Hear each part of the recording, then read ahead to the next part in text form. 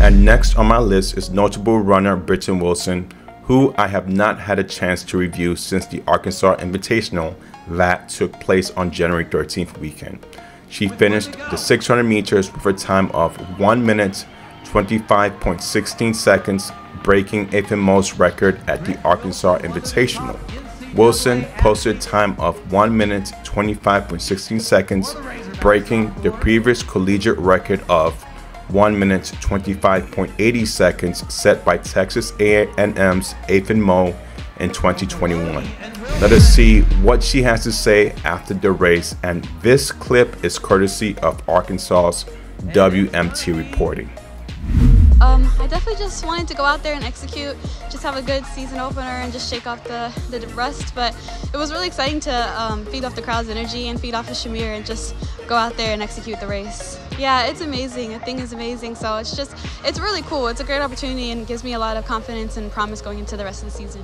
Um, I definitely took out the uh, flat 400 pace that we came through. It definitely felt easy. So that gives me a lot of hope going into the Open 4 this season, just being able to run a 53 flat out of the 600, feeling pretty easy. It gives me a lot of confidence to go into the next Open 400 that I run. Um, I was really exhausted. I think it's just coming back to competing. My body just wasn't really ready for it. But, well, I was ready, but I was a little tired. So definitely just kind of getting back into the groove of like competing and staying up so late, running races. So I think that definitely just shaking off the rust and coming back. I think the next few 4x4s are going to feel a lot easier than this one. But yeah, it was definitely just coming back into the, the groove of competing again.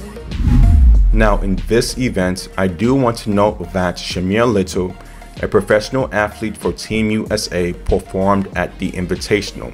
She won the race with a time of 1 minute 24.65 seconds, which ranks number 5 on the US all-time list and number 7 on the world all-time list, so congrats to Little as well. Third place in the same event was Arkansas alum Maloney, who finished very strong with a time of 1 minute 27.45 seconds. For Wilson, her mark ranks number 7 in the US number 10 of all time in the world. And again, congrats for Wilson on breaking Mu's record in the 600 meters that was set back in 2021.